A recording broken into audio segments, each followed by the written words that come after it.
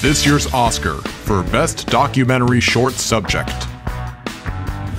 Congratulations to Crisis Hotline for winning Best Short Documentary. CPN is proud to recognize those who positively excel in pursuing their life's passion.